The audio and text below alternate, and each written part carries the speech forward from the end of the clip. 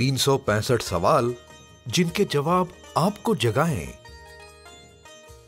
सवाल, असली सफलता पाकर जीवन में पूर्णता और संतुष्टि कैसे प्राप्त करें? सफलता पाने में कौन कौन सी बाधाएँ आती हैं? सफलता प्राप्ति का मंत्र क्या है? जाने तीन तरह की सफलताएँ। How to attain completion and satisfaction in life by achieving real success what are the obstacles in achieving success discover the mantra for success understand the three types of success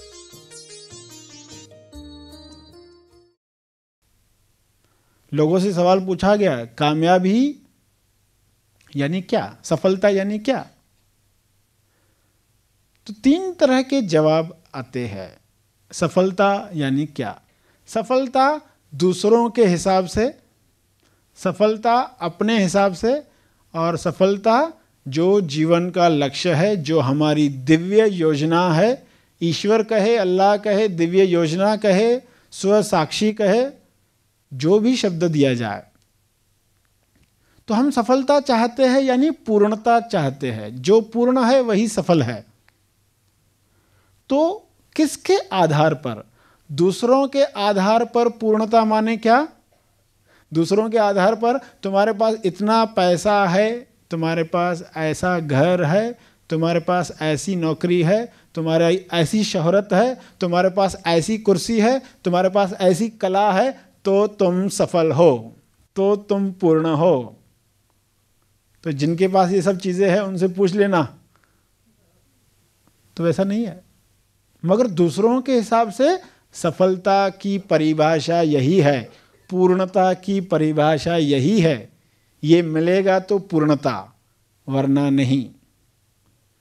फिर अपने हिसाब से जब आप पूछोगे सफलता किसमें जो काम आप डिसाइड करते हो, निर्णय लेते हो, ये काम मैं शाम तक पूरा करूँगा, पूरा किया सफल हो।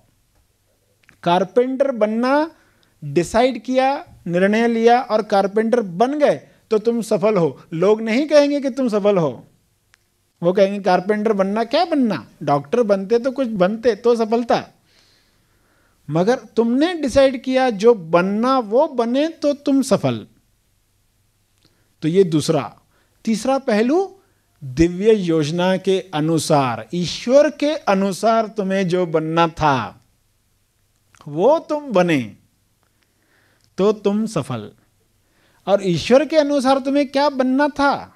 जो तुम हो। ईश्वर के अनुसार हम कुछ अलग बनकर बैठ गए, जिसकी वजह से ईश्वरीय इच्छा क्या है? कि हम फिर से वह बन जाए जो हम है। अपने आप को जो मानकर बैठे हैं, वो मानकर नहीं, उस मान्यता से ऊपर उठो। अब मान्यता का डर न हो। किस दिन काले कपड़े पहने तो कोई गड़बड़ हो जाएगी? इस तरह के रंग के कपड़े पहने तो आँख फड़क रही है, अभी क्या होगा? अब डरोगे नहीं, क्योंकि दिव्य योजना के अनुसार हमें जो बनना है तो अपने आप से पूछना है, तीनों में से किस तरह की सफलता चाहिए? तीसरे में है सेल्फ रियलाइजेशन स्टेबलाइजेशन पूर्णता। हार्ट पर शिफ्ट होना, हेड से हार्ट की तरफ़ शिफ्ट होना, हार्ट ओपनिंग, वरना हार्ट बंद हो जाती है। हार्ट फ़िज़िकल नहीं, कि फ़िज़िकल हार्ट बंद होगी तो शरीर खत्म हो जाता। हेड में ही अगर जीते रहे, विचारों में ही खाली जीते रहे, और विचार भी कौन से? कलाबाजी वाले। सारी दुनिया के लोग मर जाएँगे तो आखिरी इंसान को शमशान कौन लेकर जाएगा? ऐसे विचारों से कुछ होने वाला नहीं। ये सब मान्यताओं के विचार। विवेक शक्ति के द्वारा जागृत किए गए विचार। तो हेड से हमें शिफ्ट होना है हार्ट की तरफ़। और डिस्टेंस बहुत कम है। हेड और हार्ट के बीच में, मगर लोगों की पूरी ज़िंदगी ख़त्म हो जाती है, वहाँ पहुँचते पहुँचते और नहीं पहुँच पाते। पूरी तरह से खिल नहीं पाते। तो तीन परिभाषाएँ बताई, आपको डिसाइड करना है, आप किस तरीके से चाहते हो आगे बढ़ना। लोग जो कहते वैसी सफलता चाहिए, या जो आप डिसाइड कर रहे हो वो, या जो ईश्वर डिसाइड कर रहा है, वो साइड आप लेते हो। कौन सी साइड आपको लेनी है? सफलता पाने में कौन कौन सी बाधाएँ आती हैं? सबसे बड़ी बाधा, हमारे पैटर्न्स हमारे मनो शरीर यंत्र के पैटर्न पैटर्न यानी आदतें। कुछ लोगों में फायर पैटर्न होता है। फायर पैटर्न यानी कि उनको हर छोटी छोटी बात पर गुस्सा आता है। दिन भर वो गुस्सा ही करते रहते। वो पैटर्न ही हो गया। ऐसे लोग कभी कभार गुस्सा नहीं करते। कुछ लोग होते हैं कभी कभी गुस्सा करते हैं। और कुछ लोग होते कभी कभार गुस्सा नहीं करते, क्योंकि गुस्सा चलते ही रहता है। तो कहा जाता फायर पैटर्न है इस पर्सन का। दूसरे का कायर। कायर यानी वो डरा हुआ ही रहता है हमेशा। सहमा सहमा सा ही होता है। लोगों के बीच में बोल ही नहीं पाता। हमेशा पीछे रहता है। कायर पैटर्न तीसरा लायर पैटर्न झूठ ही बोलते रहता है, उसको हैबिट पड़ गई। ज़रूरत नहीं है तो भी झूठ बोलते रहता। कोई मिला तो अरे हमारे घर नहीं आया, बहुत आज मैं शाम को आ रहा हूँ। उसको पता भी होता है, मैं जाने वाला नहीं हूँ। मेरा हैबिट ही है। उसको हैबिट ही पड़ गई है, झूठ बोलने की। किसी ने कहा, छुट्टा छुट्टा नहीं है। वो ऐसा निकल जाता है हैबिट की वजह से निकलता है। ऐसा बोल सकते छुट्टा है, मगर मुझे भी चाहिए, मैं नहीं दे सकता। बात खत्म। मगर चूँकि वो हैबिट बढ़ गई है तो वो निकलते ही रहते शब्द निकलते ही रहते झूठ निकलते ही रहता। तो लायर पैटर्न बोलते हैं। एक पैटर्न है ब्लास्टर ब्लास्टर पैटर्न यानी कि ये लोग कुछ बोलते नहीं है और एक दिन बड़ा विस्फोट करते दिन में छोटी छोटी घटना आती, चुप रह जाते, चुप रह जाते, चुप। फिर अचानक एक दिन ब्लास्ट होते हैं और उसमें बहुत कुछ कर डालते हैं। उसको बोलते ब्लास्टर पैटर्न है। एक होता ब्लेमर पैटर्न ब्लेमर यानी मैंने ये काम क्यों नहीं किया? क्योंकि वो आ गया था। क्योंकि उसने वो काम नहीं किया। क्योंकि बारिश हो गई थी। क्योंकि ऐसा किसी न किसी पर इल्ज़ाम लगाना है, ब्लेमर पैटर्न बोलते हैं। क्यों मैं नहीं कर पाया? क्यों मैं खुल नहीं पाया जीवन में? क्यों नहीं खिल पाया? कोई और कारण है, और उनके पास कारण हमेशा होता है। कोई तो है जिसकी वजह से मैं अटका हुआ हूँ। उसको कहते ब्लेमर पैटर्न। ब्रेकर पैटर्न, यानी जिसके काम हमेशा अपूर्ण रहते हैं। काम शुरू करता है, फिर ब्रेक हो जाती है। काम शुरू होता है, ब्रेक हो जाती है। सभी काम आधे आधे लटके रहते बीच में तो उसको कहा जाता ब्रेकर पैटर्न। एक होता है माइजर पैटर्न, कंजूस का पैटर्न। ऐसा इंसान हमेशा कंजूसी से जीता सिर्फ़ पैसे से नहीं, उसका असर सभी लेवल पर होता है। वो हंसेगा भी तो भी पूरा नहीं हंस पाएगा, उसमें भी कंजूसी करता है। वो भी इंस्टॉलमेंट में हंसता है। कभी हंस लिए थोड़ा, अभी घर जाके हंसेंगे बाकी. ऐसे लोगों की वजह से तो फिर लाफिंग क्लब्स वगैरह शुरू होती है। कि लोग नहीं हंस पाते हैं तो फिर कोई ज़ोर ज़बरदस्ती से कोई क्लब खोलता है, उसमें उनको बुलाता है, उनसे हंसवाता है, तब जाके वो थोड़ा खुल पाते हैं। तो माइजर पैटर्न होता है, कंजूस का पैटर्न होता है। एक और पैटर्न है काउंटर पैटर्न काउंटर यानी जो नेगेटिव है, पहले उसको काउंट करते हैं। इकतीस दांत है, वो ध्यान में नहीं जाता है। एक दांत जो टूट गया है, उस पर ज़ुबान बार बार जाती है। ये नहीं है बार बार दिखता है। ये नहीं है, मेरे जीवन में ये नहीं है, ये नहीं है, ये नहीं है। यानी वो बगीचे में जाएगा तो पहले कांटे देखेगा, फिर बाद में फूल देखेगा। अगर पहले कांटे देखोगे तो फूल फूल नहीं लगते। और अगर कोई पहले फूल देखता है तो कांटे ज़्यादा नहीं चुपते जब आप पहले पॉजिटिव साइड देखते हो किसी चीज़ की तो फिर नेगेटिव उतनी बुरी नहीं लगती। मगर पहले ही नेगेटिव देखते हो तो पॉजिटिव पॉजिटिव लगती नहीं। तो काउंटर पैटर्न जिनका हो गया है, वो नेगेटिव काउंट करते हैं। आप हमेशा ये करना, जब भी काउंटिंग के समय पहले पॉजिटिव क्या है, वो देखना। इस तरह की आदत डालना। आनंद आए तो उस पर शक मत करना।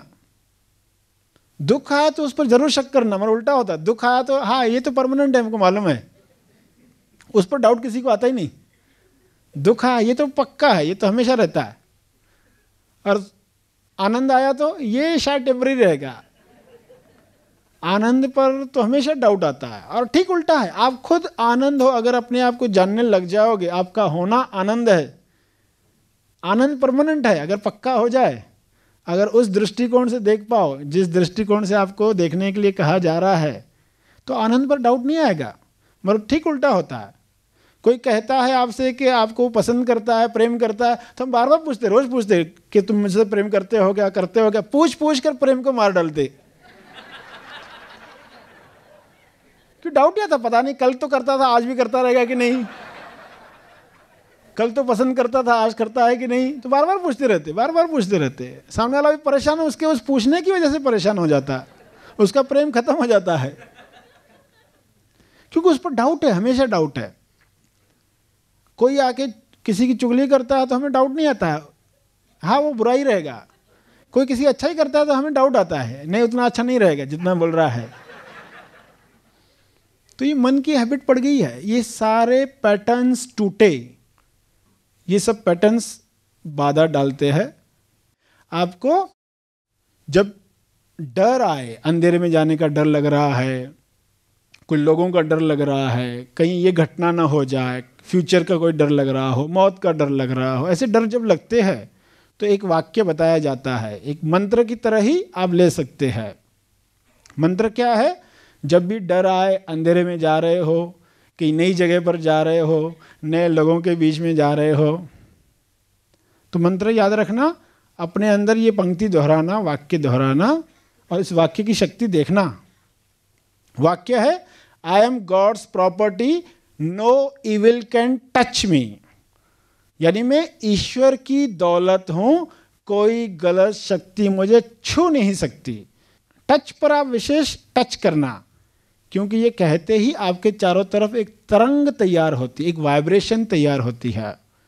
और वो किसी भी गलत चीज़ को आपकी तरफ़ आने नहीं देती। कई लोग डरे डरे से जीते, पता नहीं मेरे साथ क्या होगा अटैक होगा, ऐसा होगा, वो डर डर कर ही जाते। उनकी बॉडी लैंग्वेज ही बताती है कि डरे हुए लोग हैं। मगर जब आप ये पंक्ति दोहराओगे, आपके अंदर एक नया विश्वास जागृत होगा। इंटरव्यू के लिए जा रहे हो, कहीं जा रहे हो, जहाँ डर आया है।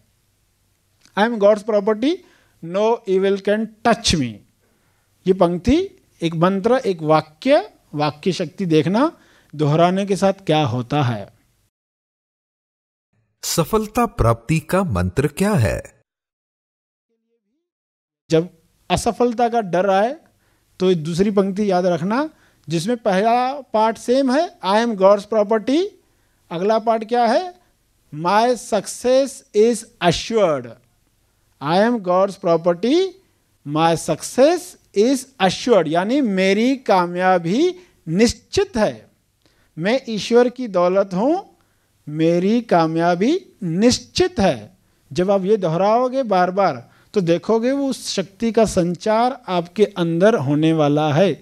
जब भी कहीं इंटरव्यू जा रहे हो, किसी से मिलने जा रहे हो, काम न होने का डर आ रहा हो तो मेरी कामयाबी निश्चित। जितना करके देखोगे, जितनी रिजल्ट्स आना शुरू हो जाएगी, उतना कॉन्फिडेंस बढ़ते जाएगा। क्योंकि हम डरे डरे से इंटरव्यू देते तो फेल ही होते ना। वो कॉन्फिडेंस फील ही नहीं करते। तो जल्द से जल्द हम इन डरों से बाहर आ जाए, वाक्य शक्ति का इस्तेमाल करें। जो नेगेटिव पंक्तियाँ दोहरा रहे सुबह से लेकर रात तक, उनको पॉजिटिव करके देखें।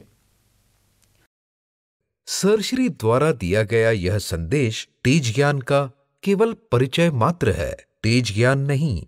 तेज ज्ञान सर श्री महा आसमानी परम ज्ञान शिविर में प्रदान करते हैं। इसका असली आनंद आप शिविर में भाग लेकर ले सकते हैं। इस विषय को और अधिक विस्तार से समझने के लिए आप इन पुस्तकों का भी लाभ ले सकते हैं।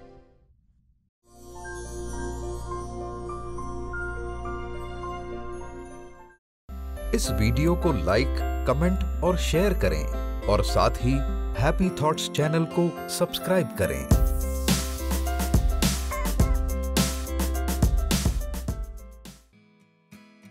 इस संदेश के बारे में अपने विचार, अभिप्राय ज़रूर शेयर करें या आप हमें मेल भी कर सकते हैं। हमारा ईमेल आईडी है mail at the rate Tej Gyan dot com